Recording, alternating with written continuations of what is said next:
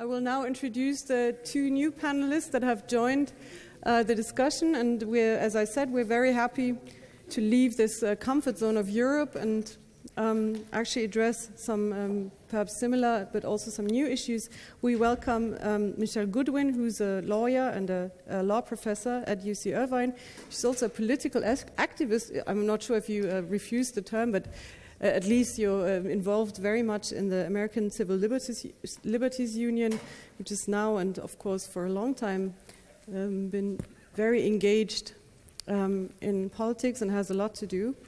And I think you uh, approached the liberal from at least two different angles that I understood from the body in its various forms as a reproductive organ, as the body of a female, as organs themselves, which is, of course, a very political issue, and from the, uh, I think, in the American context, very important um, issue of the Constitution.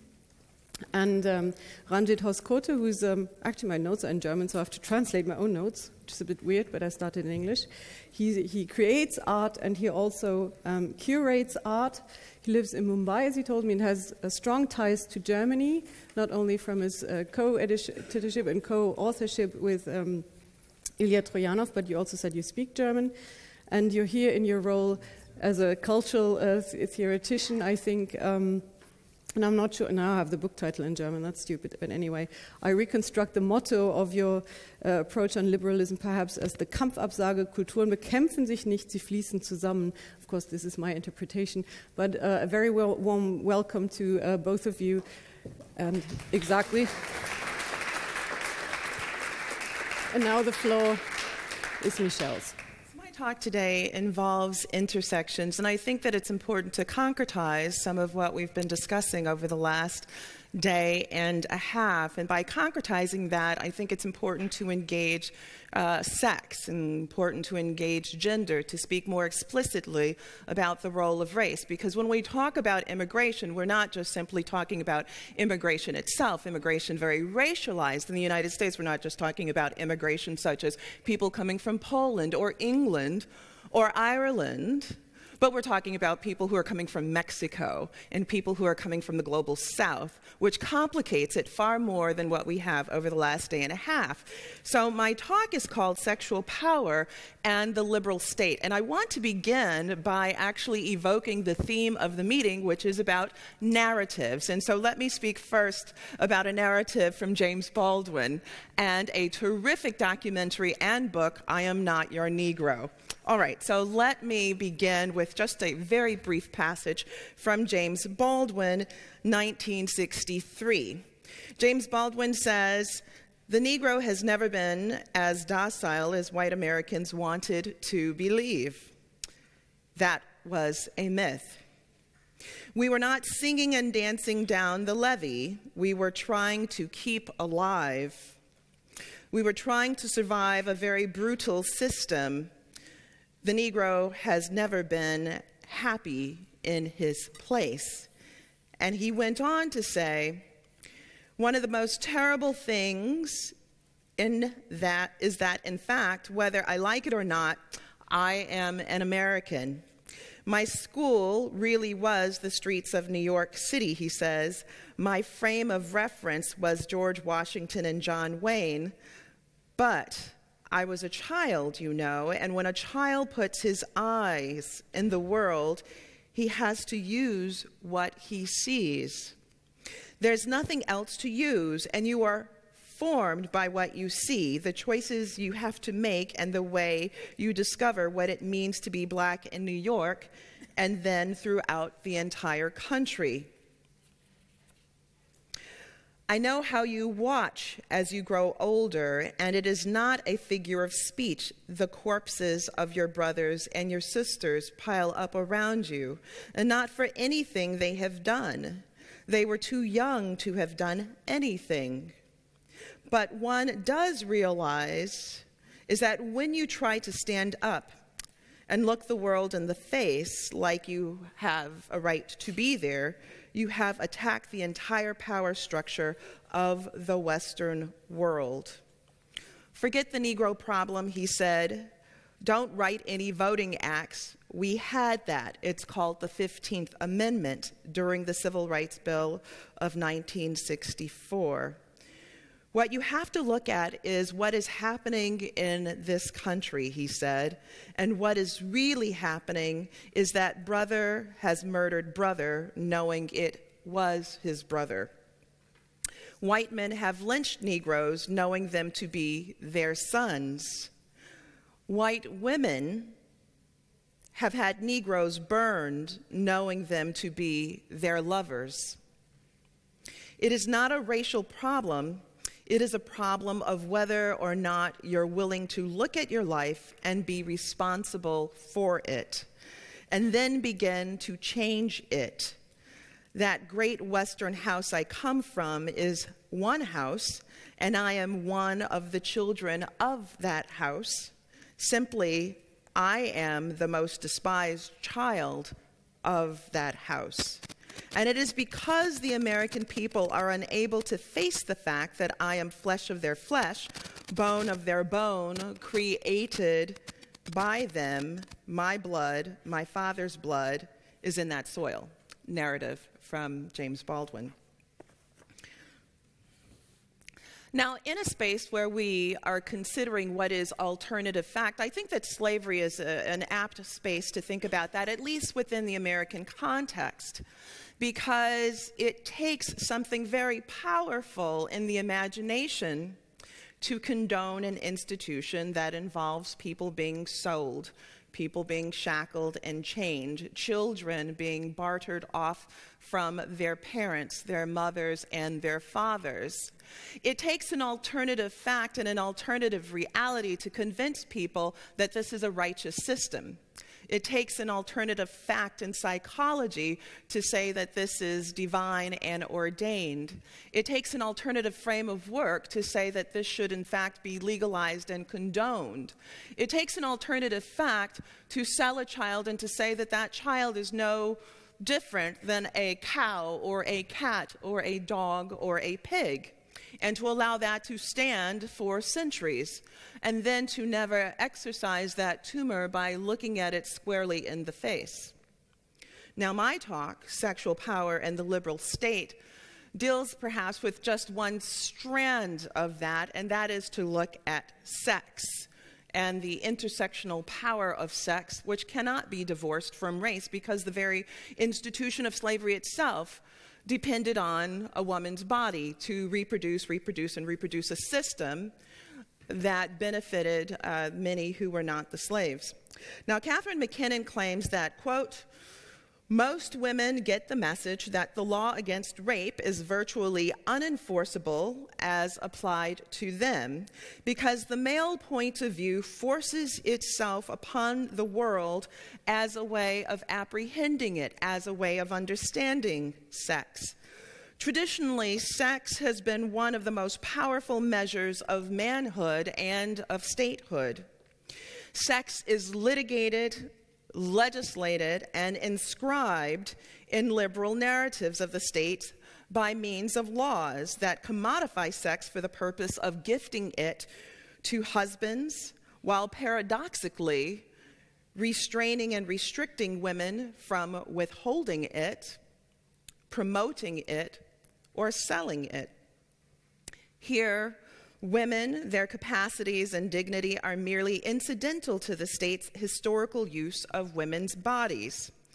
The laws of coverture, slavery, motherhood provide robust and unequivocal evidence of states legislating sex to the benefit of cultural, social, and legal norms that traditionally did not benefit women. Numerous cases expose the odiousness of sex and the rule of law. Women are essential to the liberal narratives about sex, just as tools, for example, a hammer or its nail, is essential to building a house or a chair. The social and political process of building a state that mandates inequality by sex and inscribes the hierarchy of men not only reifies what it imagines that is, male dominance and control. It creates exactly what it purports, but it finds the means to justify this reality by employing false narratives, stigma, and also stereotypes. Sexism in the liberal state must be understood as structural and as institutional. And when viewed in that frame, we can better understand how such a culture relies on the libidinous conceiving and propagating of false narratives, while the same time imprisoning the truth. Such a system creates co conspirators and criminals of those who seek to liberate facts and unshackle the truth from deep and darkened spaces where it survives. Sex informs us about the liberal state and women's status in the political and social economy. And this talk addresses that. Now, to be clear, despite the fact that the United States ranks woefully behind other industrialized and developing nations in the political representation of women, according to the World Economic Forum and other organizations measuring such things, it borrowed its leanings and understandings about sex and the liberal state from Europe, including France, its coverture laws, and England, Sir Hale's infamous treatise on women as property and the non existence of rape in marriage. Now, I'll take us through a very brief journey here that is, in fact, very localized, the point of this panel. And this journey begins with a letter that I received in the fall of 2016. It was an unexpected letter from a judge by the name of Aaron Persky. He, in the United States, infamously sentenced Brock Allen Turner, a 20 year old former Stanford University student and varsity swimmer, who was convicted of three felony counts of sexual assault of an unconscious woman. He convicted this person to a sentence of six months in the local county jail. And that was reduced to uh, three months. Now, this was despite prosecutors recommending a much lengthier uh, sentence. The judge's infamous ruling sparked protests and dramatic headlines in part because it reflected how social and political status may privilege men while burdening women. In viewing that sentencing uh, transcript, which I've read, Judge Persky quoted the victim's statement. The victim made a very lengthy statement, which was all over American news media. And even though she had done so, uh, it was not her statement that Judge Persky uh, resonated with. In fact, he said the damage was already done, ostensibly surmising that a prison sentence would actually undermine the victim's interest, and therefore a lengthy sentence was therefore unnecessary. Ultimately, Mr. Turner served three months uh, in jail uh, the judge made reference that any lengthier sentence than that would not serve justice at all. The judge was persuaded, perhaps, by Brock Turner's father, who wrote to him personally saying that Brock Turner had lost his appetite and that he could no longer enjoy the beefsteaks that he had previously. But there was a powerful symbolism in the judge feeling sympathetic about that. And that was anchored in some of the following Jane Doe, which is what we tend to call victims in the United States, protecting their anonymity. She was not an elite athlete. She did not attend Stanford. She had no claims to the bright future that Judge Persky said that he wanted to protect for Brock Turner. In fact, she was just simply a young woman who was found near trash cans. And in fact, it's somewhat ironic given the nature of campus rape that's taking place on U.S. campuses. She was not discovered by Americans, she was discovered by two foreign students who were taking a walk, and they apprehended Brock Turner. Even more troubling was the underlying assumption of the ruling that elite white men who commit sexual assaults do not pose risks to society or the women they presumably will encounter in the future.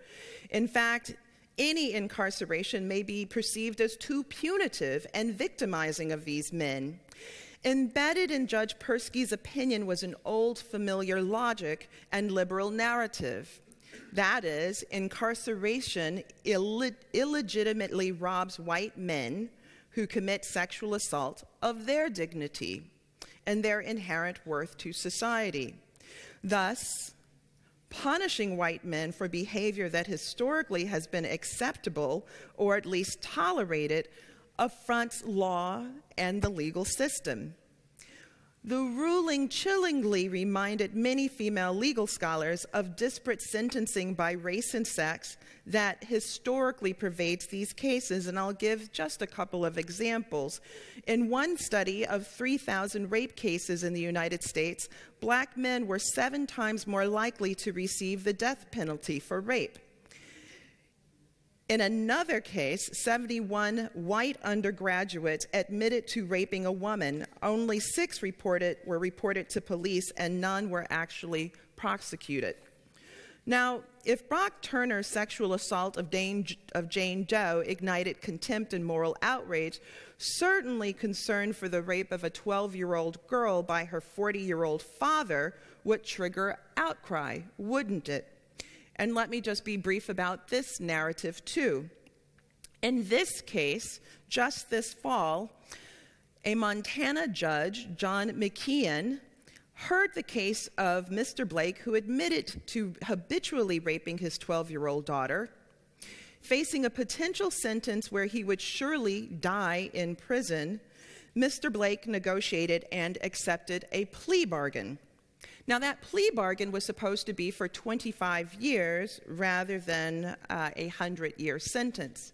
But you might be surprised to know that despite the rapist agreeing to a 25 year sentence, the judge threw it out. The judge, thought, the judge thought that that sentence would be unfair. And instead, the judge thought the better sentence was 60 days in jail. And because the father had already been in the local jail for 17 days, the judge thought 43 days was more appropriate because the judge said that this would harm the man's family for him to be away any longer than that and that his sons missed him. Now, the third part. The United States' deep divide on matters of race, reproductive health, and sexual assault immigration policy we can toss in, and perhaps history itself, manifested in the election that remains raw in the minds of many Americans. Shortly after November 8th, 2016, protesters gathered in Los Angeles, San Francisco, New York, Chicago, and other major cities, expressing outrage, disbelief, frustration, and claiming that President elect Donald Trump was, quote, not their president. Of course, they were wrong. He is the president of the United States, after all. On Tuesday, November the 8th, in 2016, Donald Trump won the presidency of the United States. It was a startling victory for Mr. Trump when he soundly defeated Hillary Clinton by securing the most electoral college votes in that election.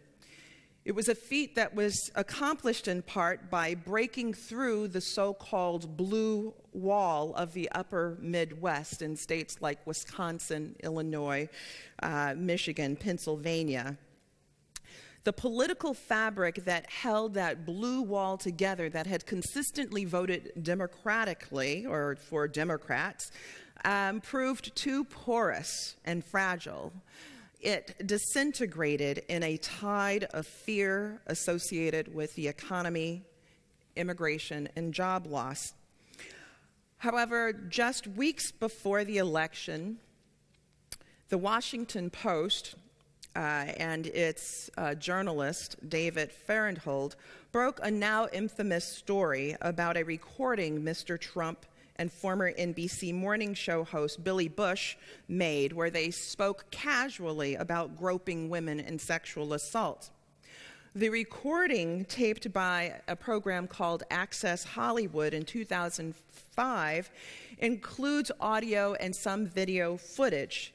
And in there is a candid recording of Donald Trump, where he says, When you are a star, women let you do anything he says, they let you grab them by, and you fill in the blank, we'll just call it the vagina.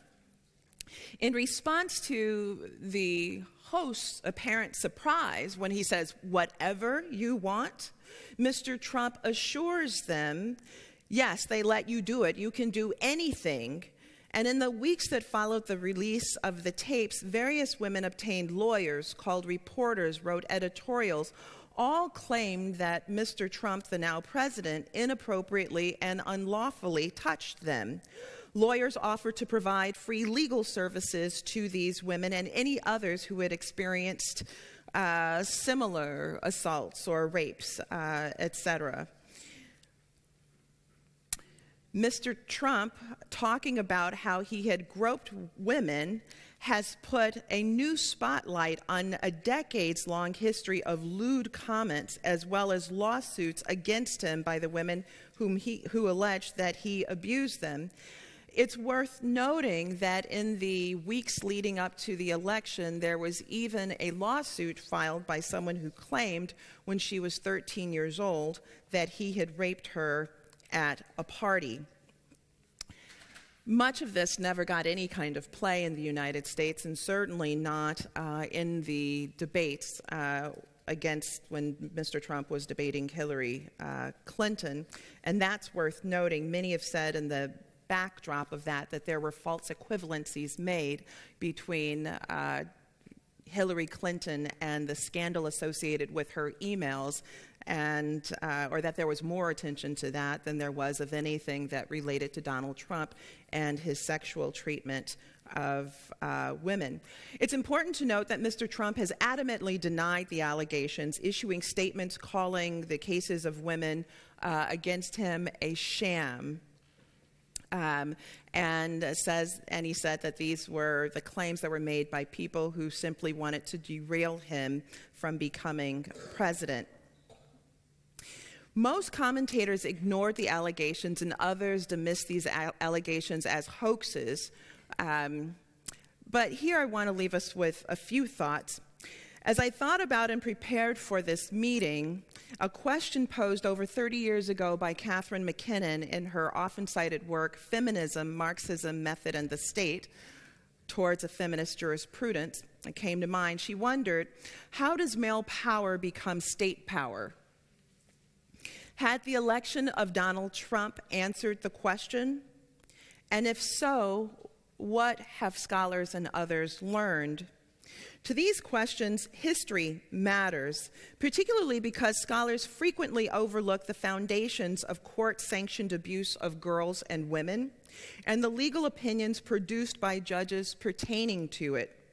More importantly, history provides a probative way to understand and to unpack why Americans have become conditioned to think that violating women and girls is normal or a condition of life and unnecessary for law's attention, intervention, or remedy. After all, why have so few social commentators, political scholars, and social policy analysts bothered to think or critically examine how law and legal institutions um, have created, in fact, these systems and reify them? Now, as I conclude, I think it's important to think about a few things, and that is that Donald Trump's election was not simply one of white males alone. That is actually inaccurate. 53% of white women actually voted for Donald Trump. And I think it's also important to note, too, that this wasn't just simply a winning of uh, an election that, uh, where poor people came out to vote for him. That is not true either. Um, whites with college degrees voted um, more for Trump than they did for Hillary Clinton. So, what do we know? We know that uneducated white people voted more for uh, Trump than they did for Clinton. Um, we know that whites with college degrees voted more for Trump than they also did for Hillary Clinton. Uh, and as I mentioned before, white women uh, voted more for Trump than they did for Hillary Clinton. But I think that perhaps one of the most profound analyses that I think makes a whole lot of sense, and hopefully in Q&A we'll be able to unpack this a little bit, is that for black women, he received the least amount of votes. 94% of black women voted for Hillary Clinton, 4% for Donald Trump. And I think this relates to an older narrative where I began, and that is the unpacking of the intersections of race and sex and the history of what slavery means in the United States. There was something very clear that black women could understand in this election that seemed lost on so many others. And with that, I'll conclude. Thank you.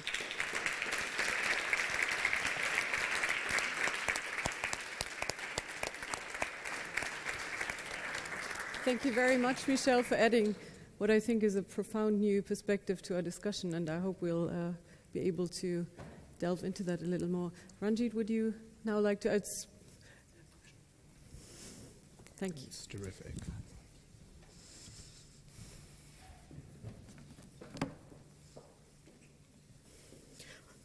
I have to say that, uh, for reasons of my own, I've been reading the testimony in a very long ago case from the 1780s of a slave ship called the Zong and the massacre.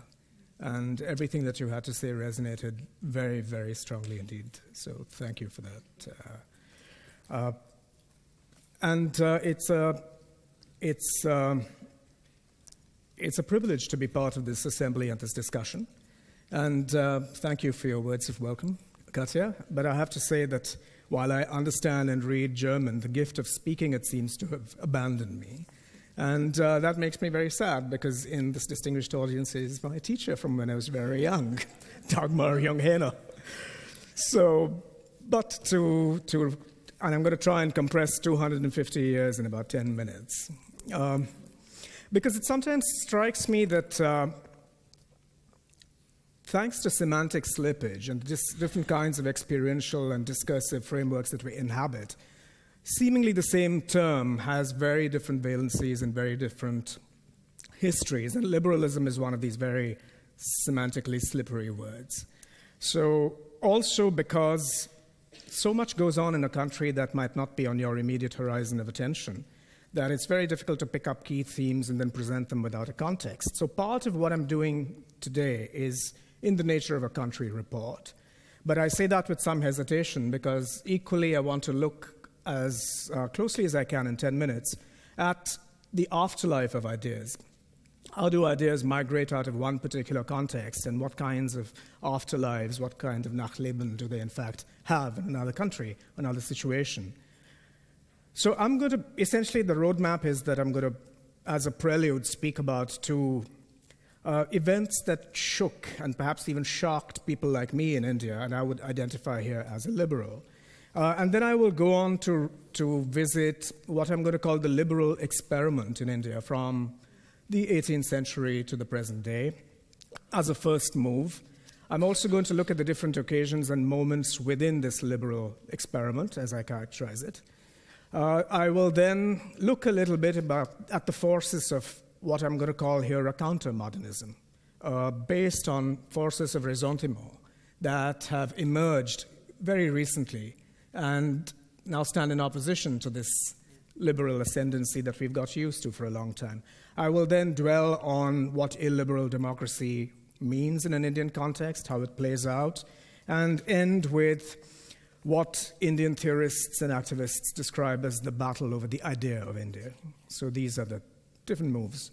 So I'm going to begin with the, with the events that shook and shocked Indian liberals.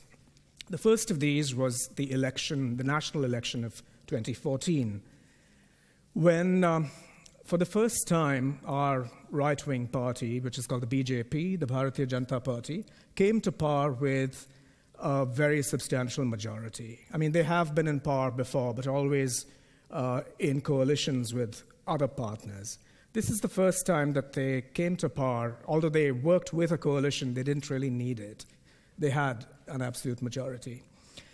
Some of the explanations for this were clear to everybody. I mean, the fact is that for two terms, the left liberal, the centrist left liberal coalition that had ruled had uh, really presided over a period of misgovernance and incompetence. So that was clear.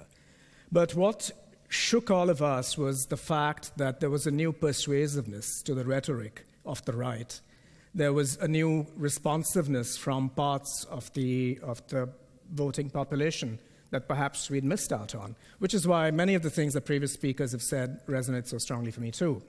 So that was 2014. The bigger shock was last week when the elections for India's largest and most populous state, Uttar Pradesh, came in. And uh, once again, against what we had fondly believed, the BJP uh, came to power uh, with a massive majority. That was not yet the shock. The real shock was the person who was appointed to be the chief minister of this state. Uh, he is a man called Yogi Adityanath.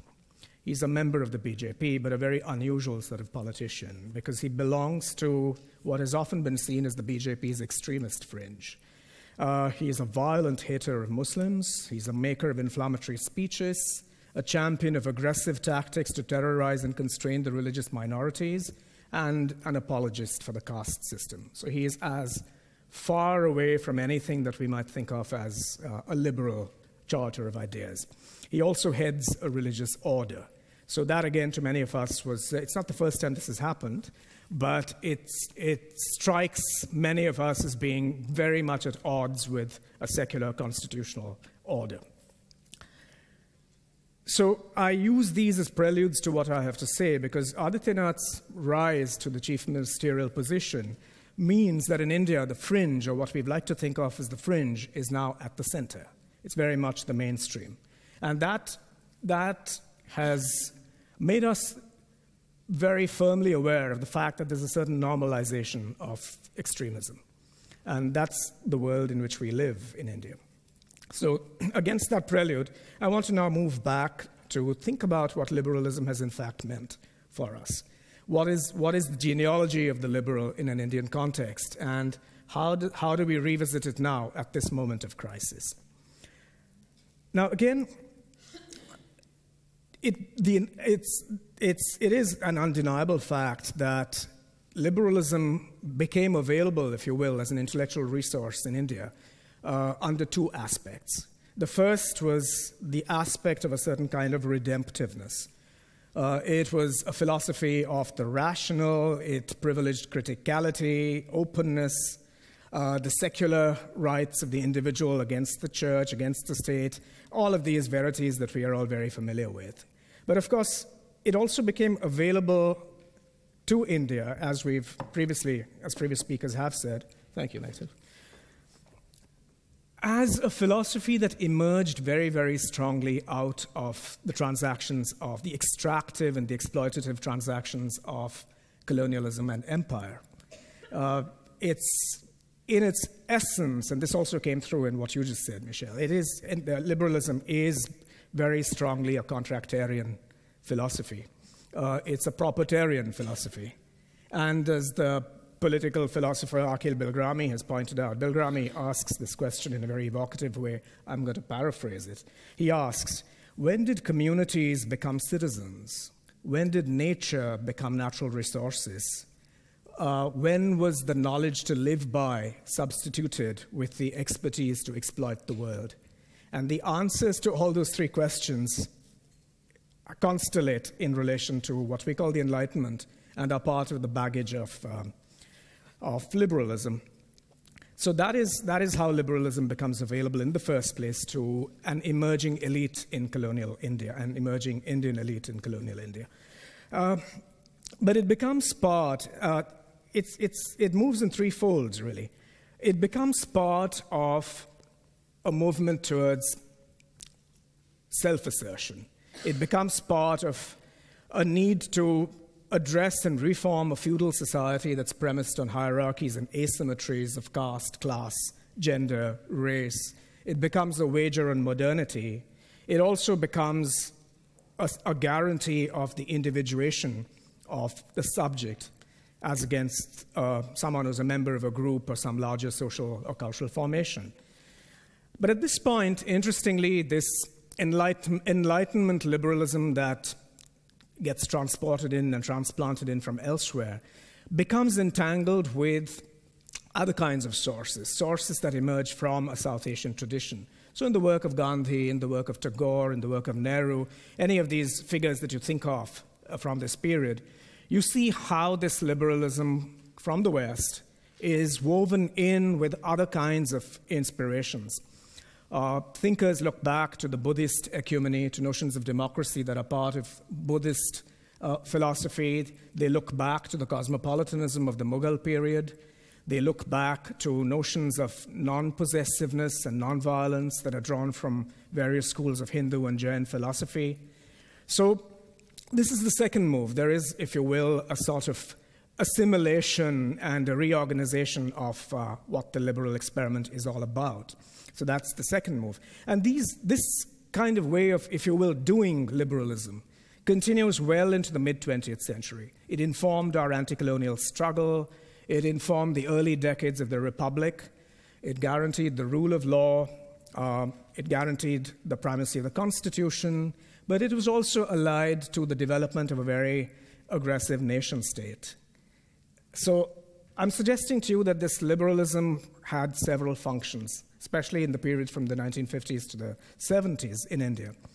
It guaranteed the rights of the individual, it guaranteed cultural diversity, but it was also linked to other kinds of questions of conscriptive citizenship and of state formation. And so in the 70s and 80s, we see another kind of wave of responses, if you will, to this liberal ascendancy. And I like to think of that as a radical turn.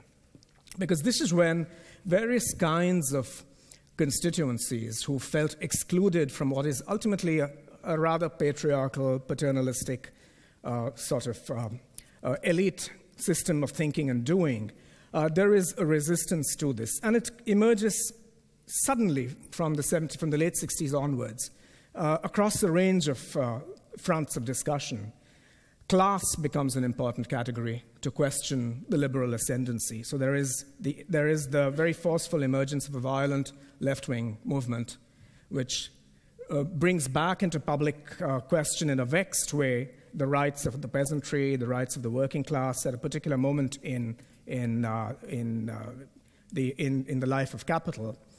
There's also very strongly an articulation of caste politics from what are known in India as probably, some of you are probably familiar with this terminology the Dalits or the Bahujans, the former lower castes, the former untouchables, people who are disenfranchised for centuries and who now found themselves articulating for themselves. They wished to seize agency for themselves and not have it trickle down to them from the liberal ascendancy.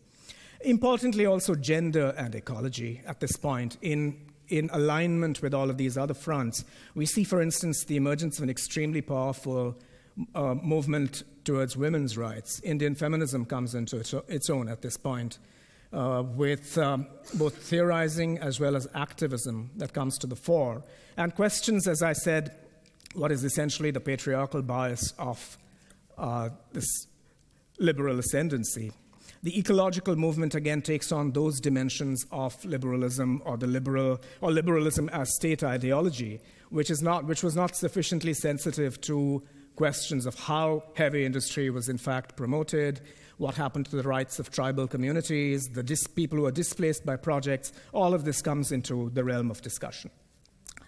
But I would, I would say that this unfolding, as I've characterized it, this threefold kind of move of what is still really an expanded, self critical liberal project, uh, faces serious challenges from really the late 1980s onwards. And that's the point at which I'd like to move quickly now to discuss uh, the factors that I'm calling ressentiment here, which result in a countermodernist response, a reaction to, to this liberalism.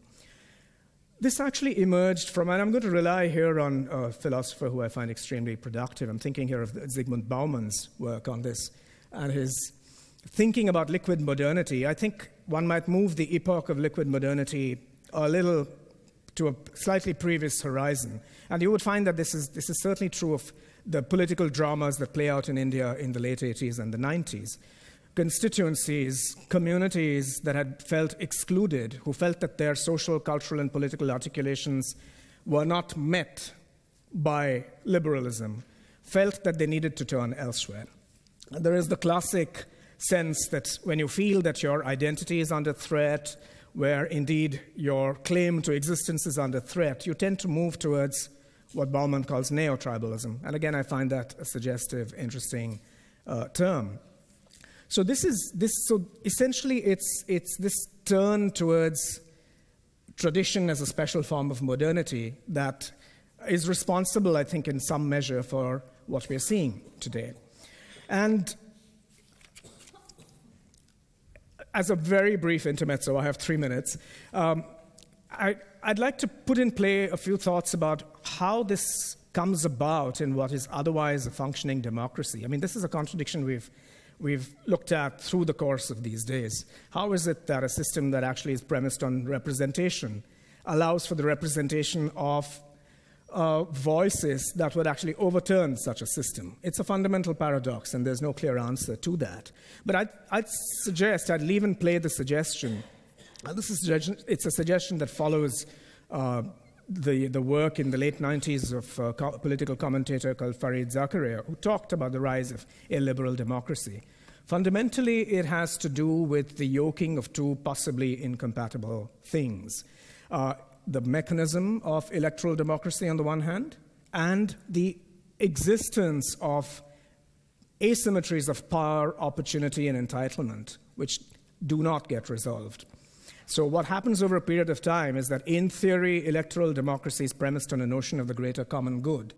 But in fact, this is a society that is concerned with what I would call group goods in this situation. And the natural expression of this rivalry among group goods is an identitarian politics. It is a kind of politics that depends on demagoguery, on populism of a certain unreflective kind for mobilization. And that's, that, I think, sketches out. Uh, do I have two minutes now? Oh, just one. Yeah. So I'm going to I'm to really summarize this very briefly to say that this is the kind of conflict that we are now uh, caught between. And to us, to many of us, it's really a question of which is, which is the India of the future. Uh, the idea of India is a, is a very suggestive phrase that uh, Sunil Khilnani, the political theorist, has used before. And what, while for a long time we've had different competing ideas of India uh, sharing space in, in, in the public sphere, we are now being asked to choose between the one and the other. And I, I have a sense that we are now moving, especially if the events of the last uh, two years are, are any indication, we're moving very, very firmly to a sense of a newly conceived nation, which is majoritarian, which is unapologetically majoritarian, where the public sphere is premised on closure rather than on openness to dissent, where there are constraints on the cultural imagination, and where there is a hortatory and a punitive sense of citizenship not a participatory sense of citizenship. And this plays out at all kinds of levels. I don't have time now, but I would look towards the way in which, for instance, language, discourse, and symbology have shifted.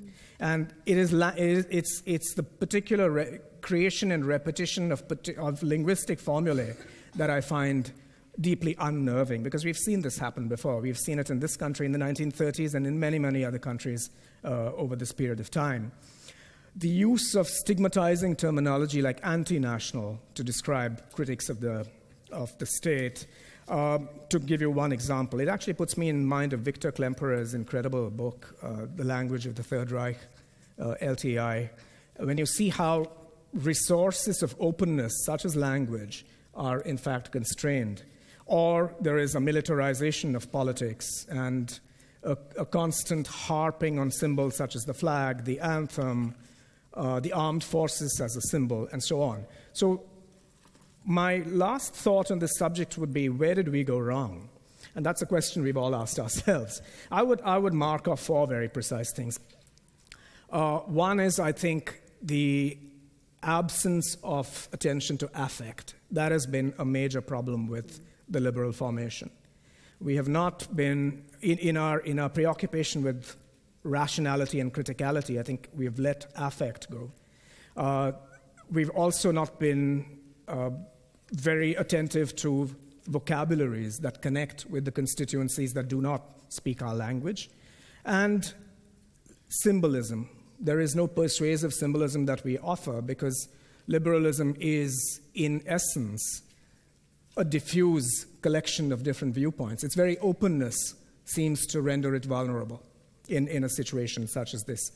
Uh, but these are the thoughts that I'd, uh, if, I mean, I, there are a couple of other things, but I'm happy to come back to them in the yeah, discussion. I'm sure there will be another minute where you can explain them all. Later. Thank you very but much. Thank you for your attention. Is that all right, or is it sort of all over the place? All right. Um, we have a very difficult task ahead. I would like to start off the discussion with two brief questions, brief answers, and then you get the chance for, as you can guess, brief questions that get brief answers. Um, no one likes to do this job, and I really hate it at the moment, but this is my job. So, Michele, I would like to ask you to respond the ideas that Ariel actually put out in the first um, round of the panel, talking about the burkini ban and um, I think it was portrayed as something uh, profoundly uh, illiberal, but you could also, in your interpretation, say that this is a liberal practice, man forcing a woman to take off her bikini to actually show her body, uh, embracing the freedom that she was given, so she should better show her body because she has the freedom to show it. How would you, I mean, would you say it's a liberal or an illiberal thing? Of course, this is a provocation, but I like your argument. Well, I, I think it's important that uh, as we unpack these things, we, we sort of th- think about them through the structures of power, mm-hmm. right? Um, and, and rationality. Um, to what extent have we seen women at the beaches posing terrorist threat? Mm-hmm. No.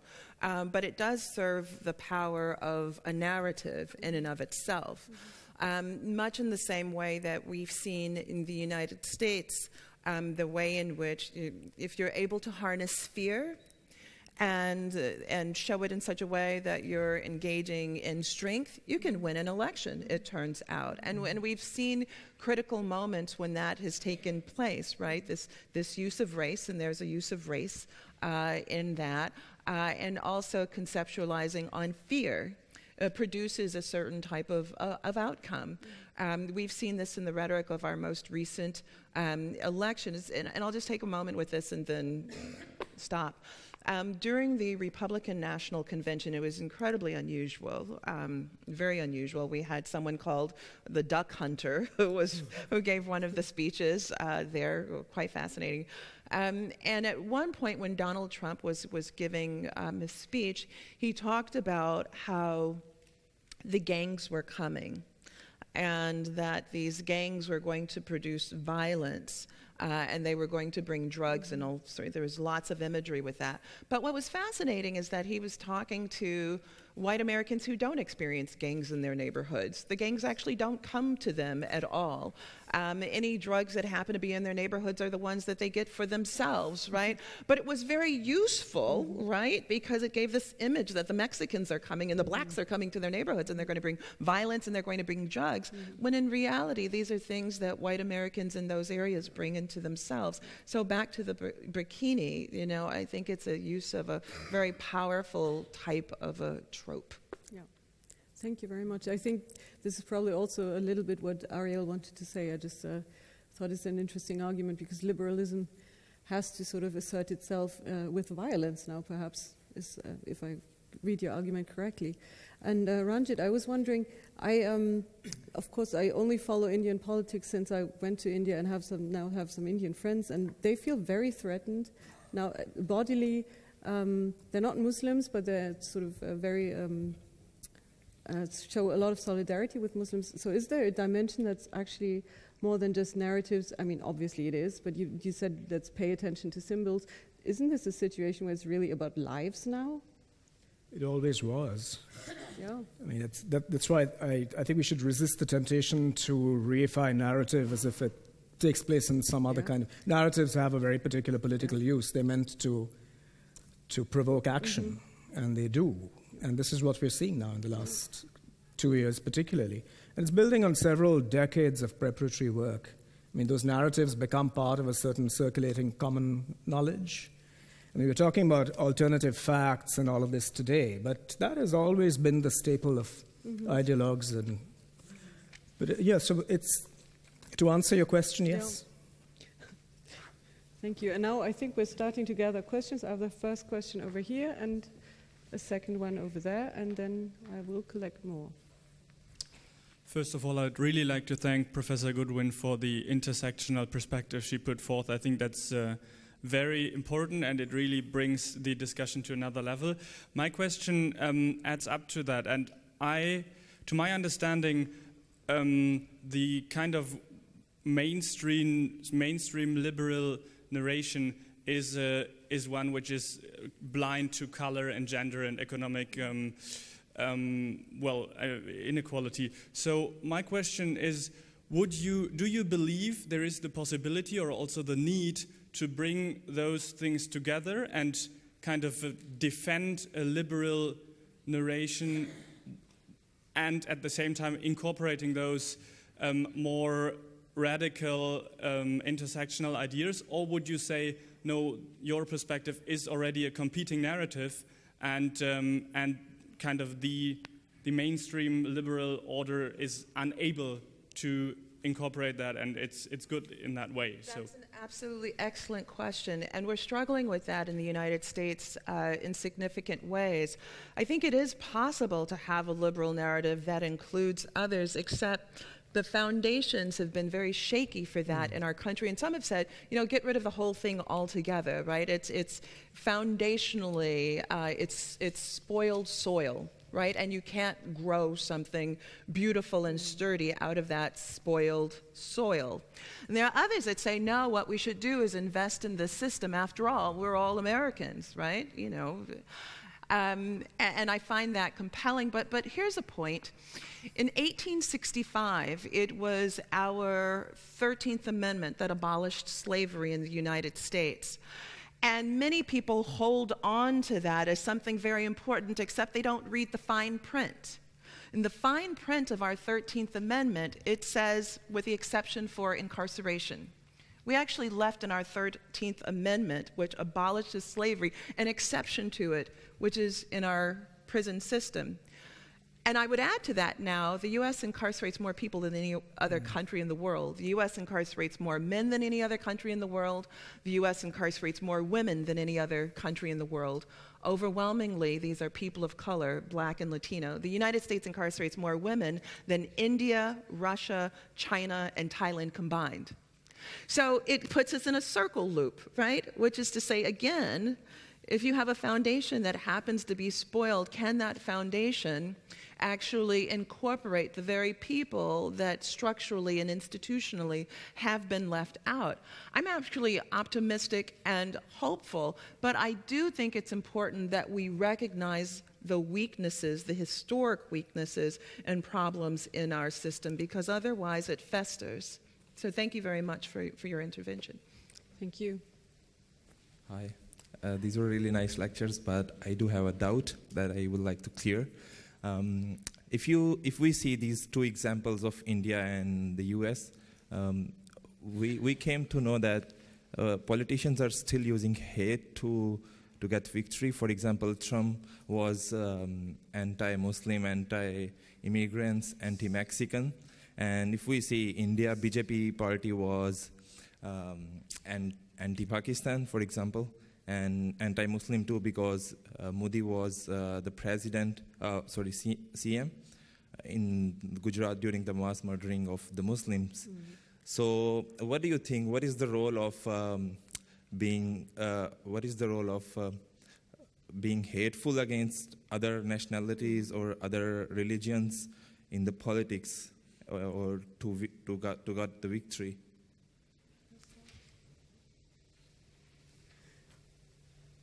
Let me approach this another way. Uh, actually, if you look at Modi's foreign policy, it's, it's been inconsistent with this account because he, his first attempt was to try and establish some kind of peace with Pakistan. The two narratives don't map very, very clearly on each other. The foreign policy goes one way, and the internal policy, which is what I'm slightly more concerned with here. Uh, hate, I think, is one of the many resources. My question is what I mean, the question that sort preoccupies me here is what is the new kind of citizenship that this system has in mind? What are be- people being conscripted for under this kind of centralizing conscriptive ideology? And what kinds of complicities, as we've seen, what kind of complicities do we see between this newly emergent, very strong state and uh, different kinds of economic interests that have supported it. So I, I think we need to balance off this question of what seems at one point to be a superstructure of affect, emotion, emotiveness, the way in which people are manipulated. That's all at one level. But I'd probably point to other kinds of uh, connections that are in play here. Yeah? So I, I, think you need to see this kind of manufactured xenophobia, the manufactured hatred of the other, as doing something else. It's pre- actually, it's a, it's a wager on a new kind of citizenship, a new kind of state. So, and, and building off of that, I think it's important to, recognize a, a, paradox that we have in the United States. Um, in the United States, our Constitution is built around the notion of equality, and that's what we espouse. But in practice, it's never really been about equality, it's been about hierarchy, which we can see mm-hmm. time and time again. In 1903, W.E.B. Du Bois wrote uh, in a book called The Souls of, uh, of Black Folk about this type of hierarchy and inequality, such that it means that even with the election that we've, uh, that we've just gone through in the United States, it wasn't about equality that the people who voted for Donald Trump were rooting for. They were actually rooting for a system of hierarchy. And examples of this abound in the United States. For example, in the 1960s, uh, whites in the United States, throughout the, the South in the 50s before, uh, preferred to pull their kids out of schools and shut down all schools than for there to even be one or two or three black students enter the school right?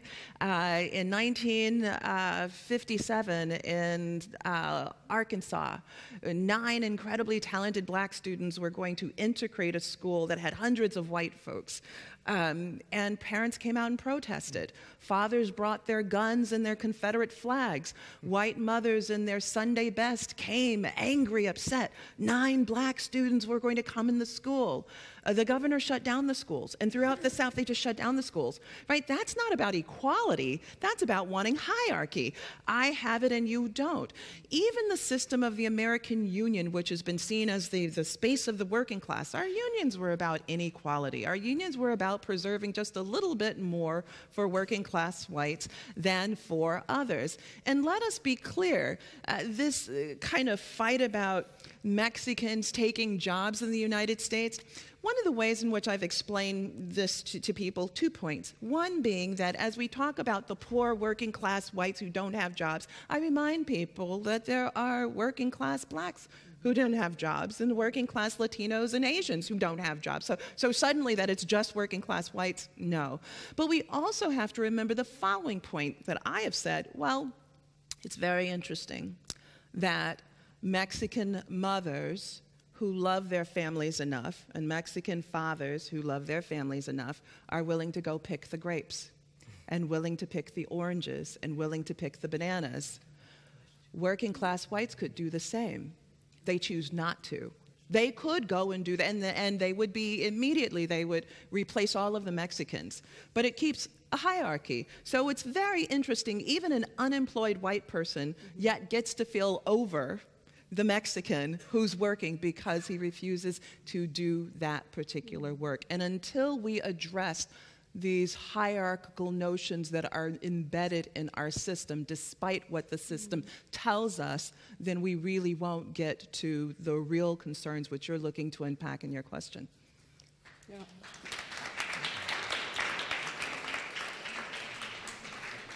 I think this is also an aspect of liberalism that we haven't really addressed. We talked about meritocracy in a way, and the, but it's of course we never talked about the legend that meritocracy creates, uh, creating hierarchies as well. And I think you yes. really addressed that. And I think Ariel has a question. Yeah, actually, um, I would have a question to you, uh, Ranjit, uh, um, because uh, very rightly so, you say that the, the, this is uh, nothing new. And I remember 20 years ago, I mean, demonstrations, I mean, tensions between uh, Muslims and uh, uh, Hindus. But so then, uh, when, you, when we think about evolution, in terms of how words translate into violence, do you think that there is a regression or progress is always something that I ask myself. I mean, from I'm a, an international I study norms in international relations and ethics of war and these, and these issues. And it's also it's something that is very important. I mean, uh, uh, what has been in, in, in moral legal terms and measuring the degree of violence, the evolution over the last over the last years, and we always tend to think that it's always worse and worse. It's false. I mean, when you look at war and in terms of uh, killing of people, no. I mean, yeah. I mean, of course, uh, we're not living in a perfect world, but it's. Uh, I mean, yesterday's war was much worse. But what do you what do you think about? I mean, what do you say about India? Specifically to the Indian, speaking to the Indian yeah, situation. compared to the past. I think there is. The two or three aspects to this problem. One is that uh, when I began with this, the new chief minister of Uttar Pradesh, I think there is a way in which violence and an extraordinary amount of violence, whether verbal or actual, has been normalized by that gesture. So it is understood to be, um, this is an extreme articulation, but there is a way in which this is being put forward as a model of how one might conduct oneself without fear of uh, the law or custom or sanction of any kind. So there is. So I think there actually is an escalation. So that I think is a big change from 20 years on. It also represents the ability, as we would have said in our old-fashioned leftist way, this is about the capture of state power in a certain way. So, and I think the confidence of having control over the state and its institutions allows for the articulation of these things that were formerly phrased in antagonism to a system, and now they become the basis for a new way of being. So I think that is certainly a problem. I'm also going to link what you've asked with the earlier question. Uh, what we're seeing also is the uh, in the production of this new kind of citizen who is kind of ideologically formed, uh, it's it's also an attempt to cut off other kinds of solidarities that any individual might form. And that addresses also the question of pluralism that we were talking, that Karolina, you raised earlier as well.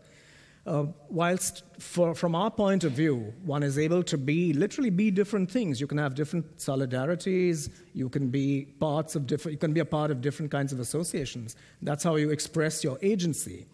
Uh, that is being curtailed. That is definitely being curtailed when you have this kind of conscriptive notion of what makes the ideal citizen now. So there's a kind of new pedagogy of citizenship. Thank you very much. I think we will end the panel now because everyone looks really exhausted, and I wouldn't want to get into this uh, mood of exhaustion because it's too fascinating. And I really, I had the impression that M Michele already had some talks over the lunch break, and I'm sure you're willing to also extend them into the coffee break. Yes, I said coffee. There will be coffee and, and cake, so uh, sugar and ca caffeine that should get us through the day. I thank you so much. I think I really, I'm, I'm uh, still awake, which is already a sign of how exciting this has been because it's uh, also been exhausting. But um, I'm really grateful for the, these wonderful interventions. And um, uh, let's first thank the panelists. I will make.